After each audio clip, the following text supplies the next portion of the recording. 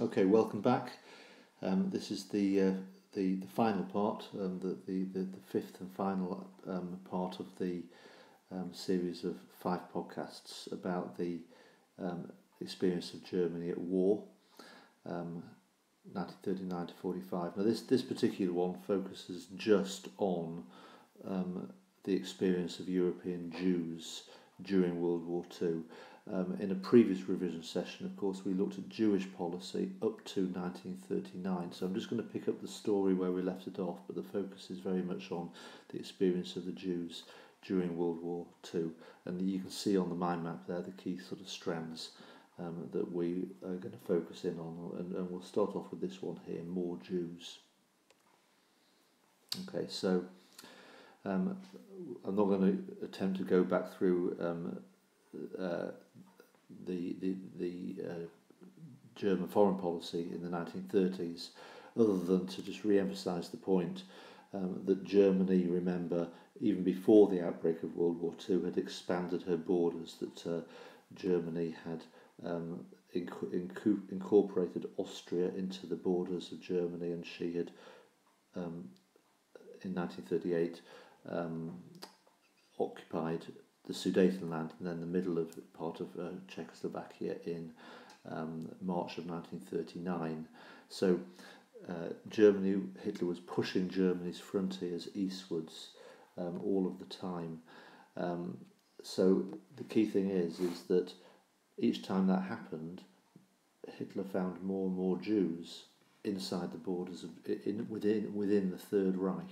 Okay, now up until 1938 Nazi policy towards Jews had been effectively to um, separate them and and um, get, give them the message you are second class citizens and the response of many of Germany, Germany's Jews. And remember there were only a, a small proportion of the population about 1% about 500,000 Jews.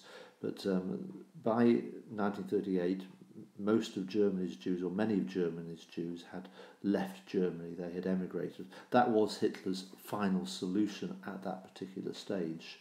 Uh, was to get German to get Jews to leave Germany, but of course the problem is getting bigger um, because Austria was occupied, the Sudetenland was occupied, and then on the 1st of September, Germany invaded Poland. And these are the stepping stones eastwards, and each time Germany expanded eastwards, more Jews were incorporated. So, for example, three million Jews, I think it was about three and a half million Jews actually, um, lived in Poland. So, um, the, more and more Jews are living inside the Reich. And of course, with the beginning of the war, um, and again, just to sort of zoom in on this, remember, of course, that Germany invaded the Netherlands and, and Belgium, and they invaded France and Denmark, and they invaded Norway. And each of these occupied countries had Jews living in their countries, Norwegian Jews, and Dutch Jews, and so on and so forth. Um, so effectively, Hitler found more and more Jews under his control. And then, of course, the big invasion eastwards um, in 1941 and the invasion of Russia, there were 5 million Jews inside Russia. Now, what exactly does this mean? Okay, it means the Jewish problem was getting worse. Emigration is no longer a final solution from Hitler's point of view. Why not? Because when you're at war, you can't, frontiers close. People can't cross frontiers between nations. Okay, they're, they're, they've been closed down. Um, so, if emigration is no longer a final solution, another solution from Hitler's point of view needed to be found. He does not want Jews within Germany. He's, um, we've already covered that topic the reasons why he doesn't. So the solution to the problem. Okay. Well, I think the key thing is to understand is that um, Hitler. Uh, we of course know that the the final solution that was eventually decided was to mass murder all the Jews of Europe. Um, but um, big debate amongst historians, but um, and it's still ongoing. Um, but most historians have now reached the conclusion that that Hitler did not make the decision to murder all the Jews of Europe until probably the beginning of 1942. We'll come on to that one in a minute. So during this interim period, 1939 to 1941, um, that was a time when the Nazis were not sure what to do. What we do know they do, they did, is they started to gather all Jews together. They started to concentrate them. They, they, they, they gathered them into holding points. And the holding points were in occupied Poland. If you look at the map to the right there, you can see Poland. And basically, they um, chose key cities, in particular the capital Warsaw and the city of Lublin um, and the city of Lvov in the south. And what they did is they walled off sections of those cities. They literally walled them off. And Jews, um, initially from Poland, because there were three and a half million Jews, um, but also from the other occupied territories, um, that and from Germany itself, uh, were increasingly transported to Poland and put into these these walled off areas. Now these walled off areas um, were called ghettos, and um, you have to imagine the Nazis viewed Jews as effectively subhumans, unto animals. So the conditions in the ghettos were absolutely appalling overcrowding, lack of water, food, and, and electricity, etc. Um, and yeah, there's some statistics there, and inevitably, um, Jews started to die of malnutrition and disease. And we're talking about, but in the Warsaw Ghetto alone, 5,000 um, each month were dying by 1941. There's a picture of the Warsaw Ghetto, so you can sort of see um, yeah, the, the, the, the, how overcrowded they were. Um, literally dead bodies lying on streets. The, the Nazis made no effort to sort of like um, support them in any way. Now, then, a separate issue that was Poland. Now, when the Germans invaded Russia, and you, again you can see that on the map, um, there were five million Jews living in Russia. Now, effectively, what, that, that invasion started in the summer of 1941, and, it, and it, it, happened in the second half of 1941 as they advanced towards Moscow. And effectively, what happened is behind the army, SS murder squads called Einsatzgruppen um, followed behind. So as the army occupied a town or a village and then the army moved on to the next um, objective, the SS would move into the occupied town and village.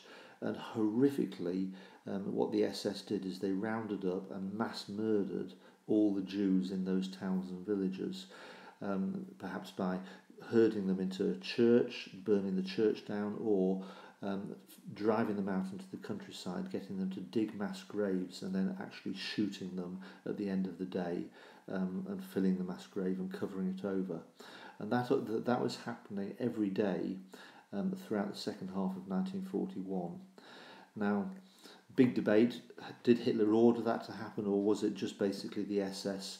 Um, making those decisions, just, just doing it. You have to remember this is a long way from Berlin as you as you if you imagine the map there um, as the as the, the Germans advance the further they advance the, the distance between Berlin remember you've got Poland between Russia and Germany is a long long way. So they're operating a long way from orders. Um, but there's a lot of evidence that Hitler would have known about it. Um, but what we do know um, what we do know is that uh, and there's a picture of, of, of one of the few pictures because the, the, the, the, the Germans were very keen to conceal it. None of this happened, all these awful things, none of it happened in Germany, of course, it happened a long way. They didn't really want the German people to know about it. Um, it would have been too damaging to Hitler's popularity at home, um, although inevitably they did know about it. I mean, you, you can't conceal this from the German people. But what we do know is that as we move into the 1942, there was a meeting in Berlin called the Wannsee Conference. It, it, it, was named after the villa in Berlin, and it was chaired by an SS man called Heydrich. And it was only an hour and a half meeting, and it was in that meeting that basically they decided we need to now that the policy is going to be to, be to mass murder. We now have decided what we're going to do. We're going to basically um, kill all the Jews of Europe. And effectively, the men in the meeting were given the brief to decide on the most efficient way of doing it. And, the, and uh, w- the decision that was ultimately made, they went away and experimented and came up with um, the different approaches. Um, but the, the decision was made to build permanent gassing facilities and that this would happen in Poland. Okay, so effectively they decided the place for mass murder would be Poland simply because Poland was central. Uh, so, um, uh, again, just looking at the map here, you get a strong sense here of Poland's central position. If you imagine um, the whole of, uh, of German occupied Europe, that we're just drawing that around there.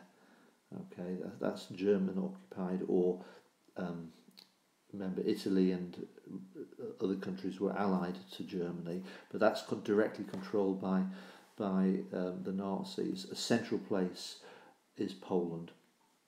Um, it's got a huge concentration of Jews. The ghettos are there, Warsaw, Lodz, etc. Jews have been concentrated in ghettos. Um, most of the, or certainly by um, the start of 1942, um, more than a million of the Russian Jews have been shot. Um, you've got a lot of Jews in, in the occupied countries of France and so on. So basically, um, you can see from the black arrows there, transport any Jews left to Poland. And of course, the railway hubs of Europe converged in a town called Auschwitz or Auschwitz. So that was um, different extermination camps were built, but Auschwitz was decided as to be the sort of like centre of the main camp. So again, it's a well-told story. Uh, as we know, the deceit was maintained to Jews. They didn't want difficulties transporting them. If they knew they were going to die, it would be harder, so they lied to them. They said you're being transported for resettlement. But on arrival at the death camps, those who were not fit to work were immediately gassed. Those who were fit to work were literally um, sent to labour camps and were worked to death, or when they became too weak, they too were sent to the de- uh, gas chambers. The most famous um, camp is Auschwitz Birkenau. That's the picture there very, very famous um, picture. Um, but learn the names of the other camps. Okay, uh, um, it really is worth it in terms of um, showing your precise knowledge for the exam. Sobibor, Treblinka, Chelmno, and Belzec um, are the key ones for you to learn. And of course, bearing in mind what we did in the previous podcast, the camps were liberated in 1945. By the Russians. Most of them were liberated by the Russians. There were some camps that were um, that the Americans liberated, but the big one in particular, Auschwitz, was um, the Russians, of course, occupied Poland, and so the Russians arrived in Auschwitz and liberated the Jews. Some Jews were still there. Um, but even at the final stages, what we call the death marches, when the Nazis fell into a retreat, they rounded up Jews who were still fit to work, who were in the death camps, and forced them to, to march back to Germany with them, working them to death on the way. They were that obsessed um, with removing them. Um, about six million Jews. Don't forget to mention the fact that, that there were other groups who went to the death camps as well. It wasn't just Jews um, 500,000 gypsies, for example, homosexuals, all sorts of groups that the Nazis hated were killed in these death camps, but Jews were by far the most significant, and of course, we call it the Holocaust. Um, so, there is the factual test. Um, just to, uh, yeah, again, it's just to make sure you've got precise knowledge. You can download that from um, the Frog um, area. Um, test yourself, learn the facts by heart. The answers are on the next page of the podcast. Just pause it. And there, of course, are the answers. Okay, so that's that. Finished that. Um, hopefully that was helpful to you. Remember, there are some model answers that I walk and talk you through about Germany at war as well. Thank you.